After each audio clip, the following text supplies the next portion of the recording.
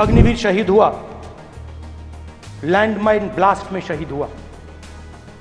मैं उसे शहीद कह रहा हूँ मगर हिंदुस्तान की सरकार उसे शहीद नहीं कहती।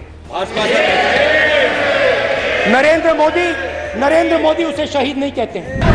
के दौरान अथवा सीमाओं की सुरक्षा के दौरान यदि हमारा कोई अग्निवीर का जवान शहीद होता है तो उसके एक करोड़ रुपए की धनराशि सहायता के रूप में उसके परिवार को मुहैया कराई जाती है। कल संसद में विपक्ष नेता ने कई मुद्दों को लेकर हंगामा काटा, जिनमें से एक मुद्दा अग्निवीर का भी उठा। राहुल गांधी ने कहा कि मैं अग्निवीर के परिवार से मिला हूँ। केंद्र सरकार अग्निवीर को शहीद का दर्जा नहीं देती। अग्निवीर यूज़ एंड थ्रो वाले मजदूर हैं। मोदी जी इन जवानों को शहीद का दर्जा नहीं देती। उन्होंने आगे ये भी कहा कि इन जवानों को महज छह माह ट्रेनिंग मिलती है। अग्निवीर की सच्चाई आर्मी जानती है। हमारी सरकार जब आएगी तो हम इस योजना को हटा देंगे। इस पर सदन में खूब शोर शराबा भी हुआ। इसके बाद रक्षा मंत्री राजनाथ सिंह ने क्या कुछ कहा? चलिए वो आपको सुना देते हैं।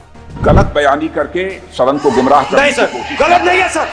गलत नहीं है सर। कर देना चाहता हूँ गलत नहीं है सर। दौरान अथवा सीमाओं की सुरक्षा के दौरान यदि हमारा कोई अग्निवीर का जवान शहीद होता है तो उसके एक करोड़ रुपए की धनराशि सहायता के रूप में उसके परिवार को मुहैया कराई जाती है। तो ये थे अग्निवीर को लेकर पक्ष और विपक्ष के बयान। ऐसे में सवाल उठते हैं कि अग्निवीर जवान को आखिर क्या क्या फ़ायदे मिलते हैं। तो चलिए आपको इस वीडियो में हम वही बता देते हैं।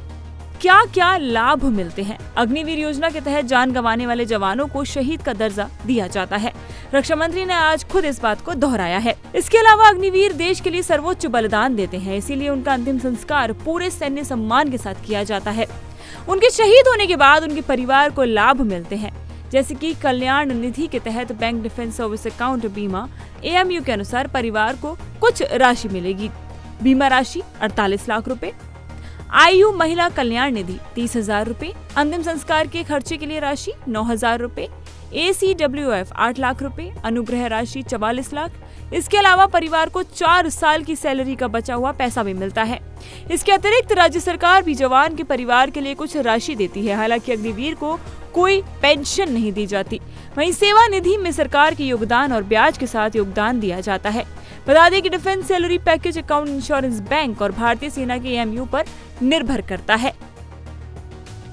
तो आपकी अग्निवीर पर क्या है राय हमें कमेंट सेक्शन में ज़रूर बताएँ और ऐसे ही तमाम अपडेट्स और खबरों के लिए जुड़े रहें इंडिया टीवी के साथ।